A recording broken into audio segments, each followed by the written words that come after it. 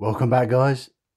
I know it wasn't long ago since you last saw me, but I feel like I'm getting into a good routine of churning these videos videos out. Churning sounds bad. It's not like a factory where I'm just uh, processing video after video after video, but it isn't like that. I literally have a really good process where I find the right time of day where I can relax um, and make this content for you. So today is Saturday and I'm having a nice day. I'm very relaxed. I thought it'd be time to present to you Phylida. Now, I've said in previous videos, I, I struggle with the name because um, it makes no sense, but I did some research. This watch, the brand Phylida, is actually a Greek variation of the feminine name or lady's name, Phyllis.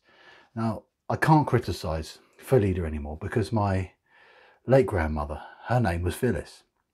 So, in honor of my grandmother, I have an homage Rolex watch which is also called Kermit. How very strange.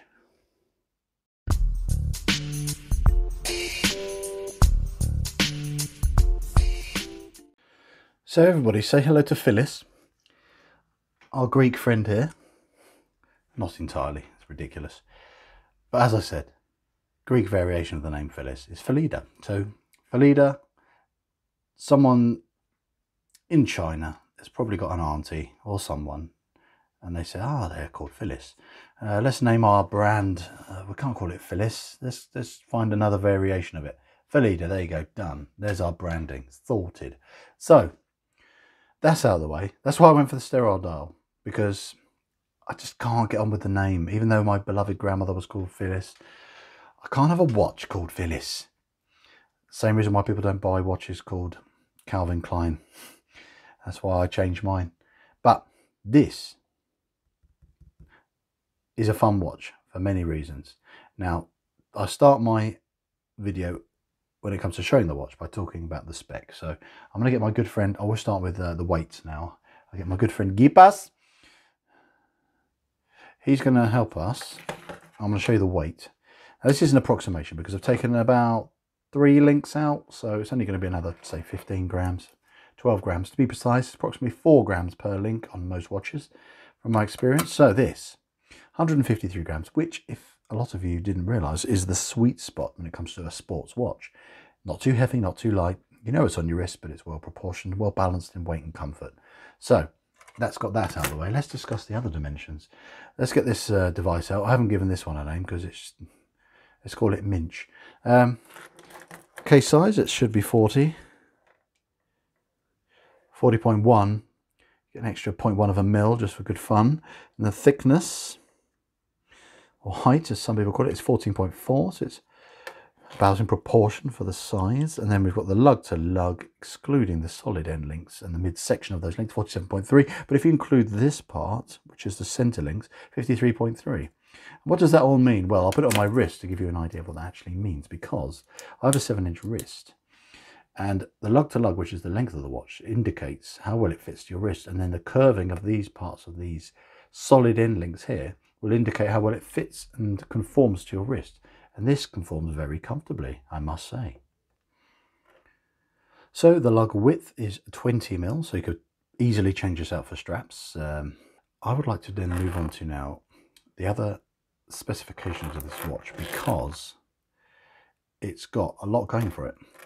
You've, I've covered the weight, the dimensions. Now let's move on to the materials. Everything is that's metal is 316L stainless steel and that is a good grade of steel. It's what you get on nearly everything nowadays as when it comes to the watch market. Apart from Rolex, they've got their own special grade of um, steel, which is a lot softer, which uh, is better for refinishing, but that's a whole other story. This is great. You've got a mixture of polishing and brushing. Brushed a lot on the bracelet, top and bottom, and all underneath. I like the fact there's not too much polishing on here. That's why I like it, because too much polishing ends up just being a smudge and scratch magnet. So the bezel insert is actually ceramic, and all of the letters, not lettering, the numbers and the lines, etc., that is all lumed. And I'll show you that in a bit. And that is really good.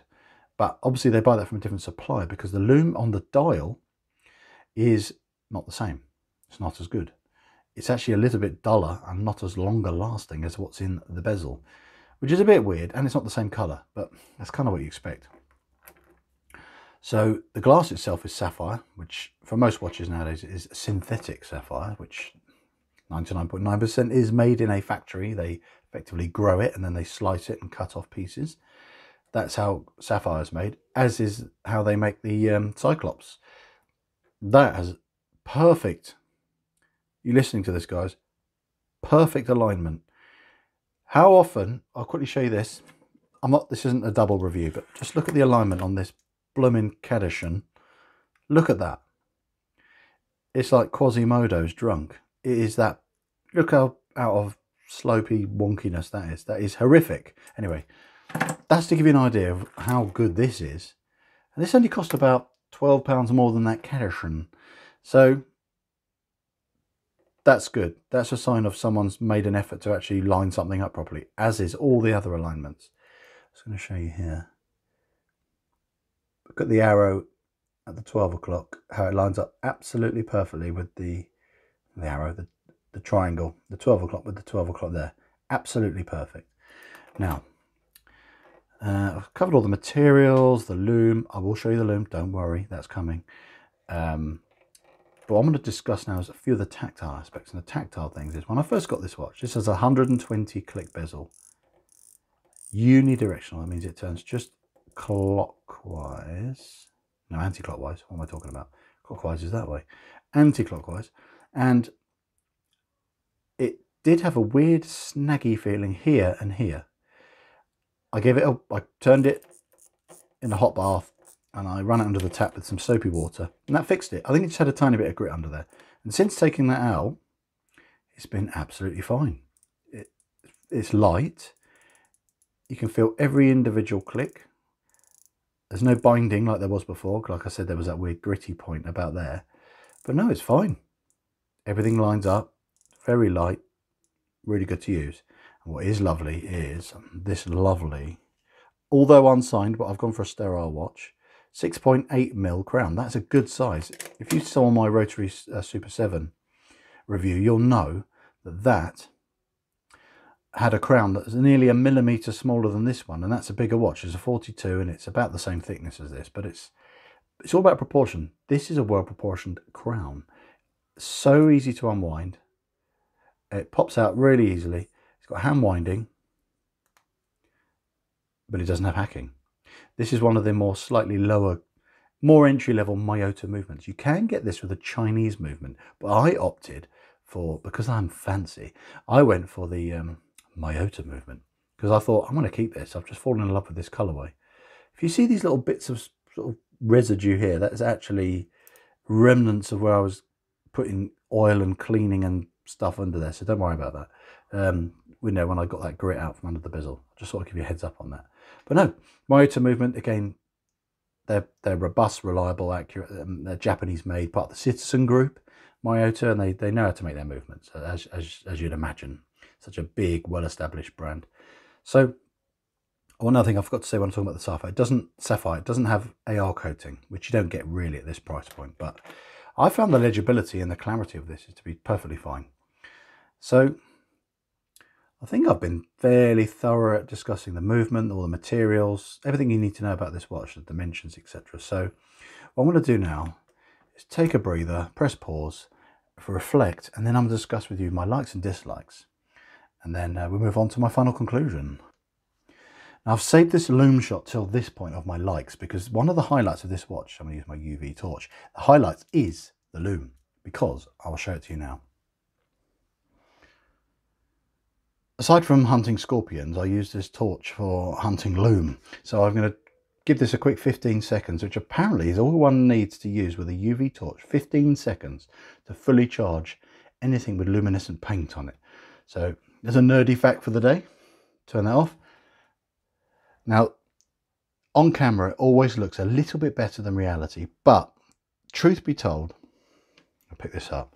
The bezel, as you can see, is really crisp really bright and obviously brighter and better applied. Look at the lume on the indices and the hands. That has a slightly murkiness, uh, murkiness, murky look to it because it's obviously not caked in lume like they've obviously put more layers of this paint or better grade of paint of lume in the bezel. But come on, this watch is just over 70 pounds, guys. That is amazing. I'm happy with that. So the reason why I didn't talk about the bracelet earlier is because I'm saving that for, as, as I did with the lume, for my like section because this bracelet is fan bloomintastic for the money because I'm just going to zoom out a bit. This brushing is exceptional. All the edges are honed. This is so well machined. There's no snotty machine marks or scratchy areas on it. It is so easy to undo. It's, it's all very well made. It doesn't feel rattly, it doesn't feel loose. This part on nearly all the Pagani designs feels like it's about to break. And I had one actually break at this point. This feels really robust. It has, look at this, glide lock. At this price point, I know you can get it on some of the other Chinese brands, but that pops really reassuring glide lock. Effectively, it's obviously paying homage or copying um, Rolex because they do this. You slide it, you got that fine tweaking to get it to fit you absolutely perfectly. And that is extremely good. So that's why I'm so happy. And has screw links. And I've removed some links from this bracelet, as you know, to get it sized for me. And there was no cross-threading feeling, no snottiness, no snagging. The screws are really neatly done. It was so easy to readjust this bracelet.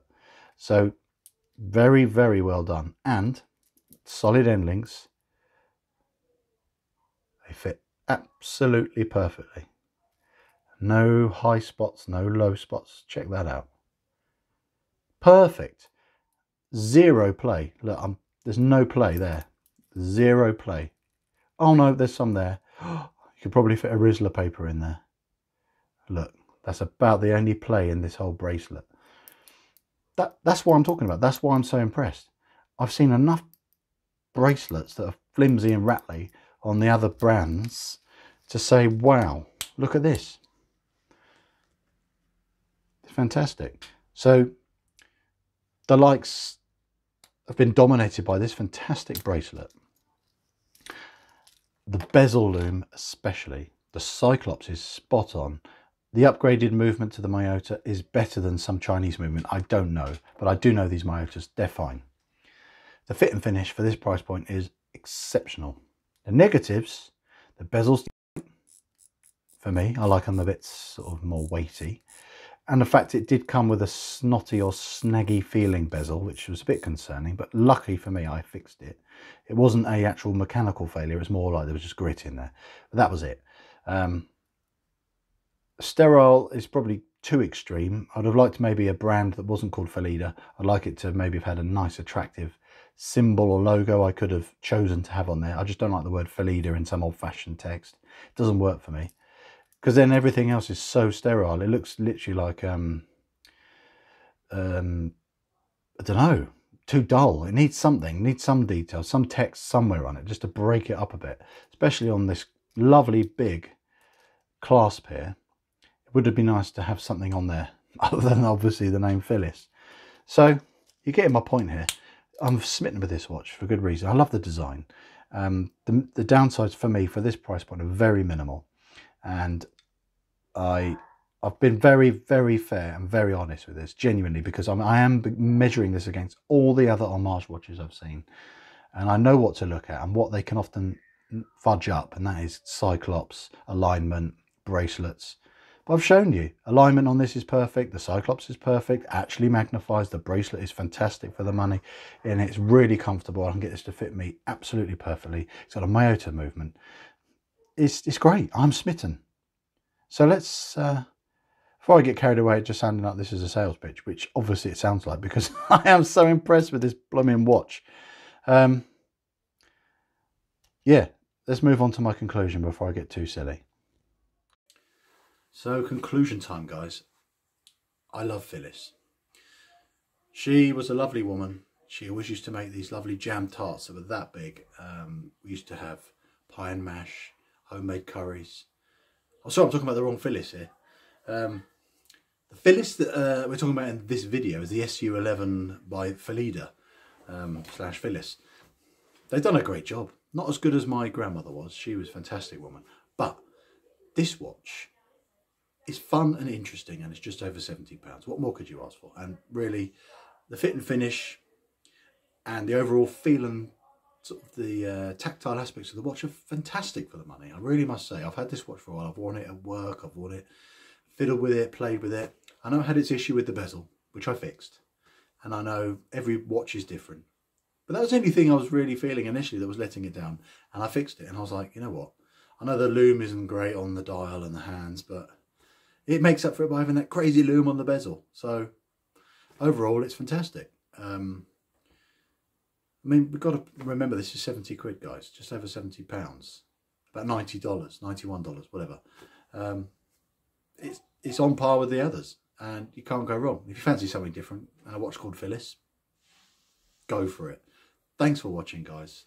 As usual, thanks for your support. It's been a joy. I love sharing this content with you. It gives me a buzz during these crazy times. And um, I really value everything that you say in the comments. And I look forward to seeing you in the next video. Bye for now.